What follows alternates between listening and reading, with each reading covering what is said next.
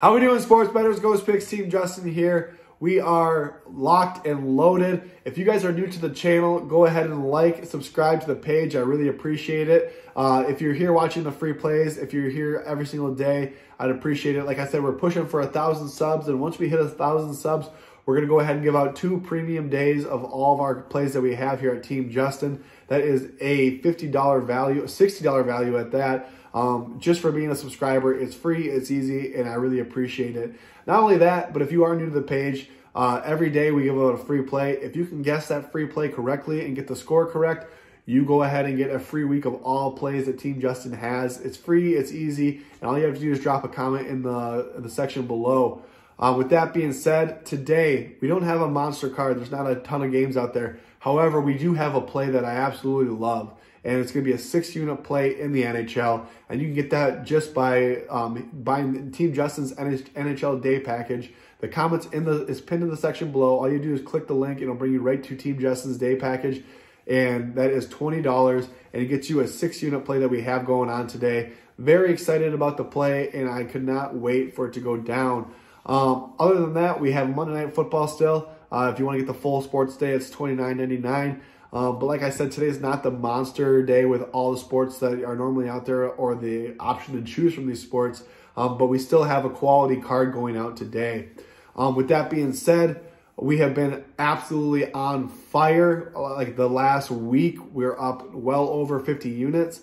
Um, with that, but with that being said, yesterday we had a two and three day where we went down five units. We were kind of up and down all day. Um, we started off early in the NHL and our play lost. It was the um, Boston versus Detroit under five and a half goals.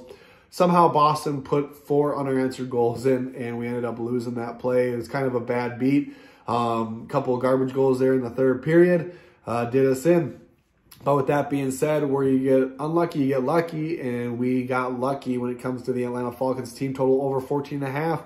They put up 15 points in the first half on a couple of Josh Allen interceptions. And that was it for them. They ended up not scoring again, um, but we'll take the winner there. And then in the Washington Capitals taking on, who were they playing? The New Jersey Devils. I don't know. Why I had a name blank there. Uh, we were on the over. It looked like it could have been in trouble, but Washington poured it on late, tied it up, uh, gave us the automatic over going 3-3 into OT. Uh, that over six hit, a five unit winner. And then we, I would say maybe our bad beat of the day was the Cardinals versus Cowboys. We were over 51 and a half. And, you know, there was so many opportunities in that game for that game to go over. Uh, a fumble late, the Cowboys could have pushed for another field goal that would have gave us the push easily. Uh, it wasn't called. They're out of challenges. Uh, just a bad beat in general on that over. Uh, with the, and then we put out a last second play because I, I kind of the same thing on the Vikings. I thought they'd score more than 14 points, and God, that was just a brutal game to watch. I'm ready for Zimmer to go.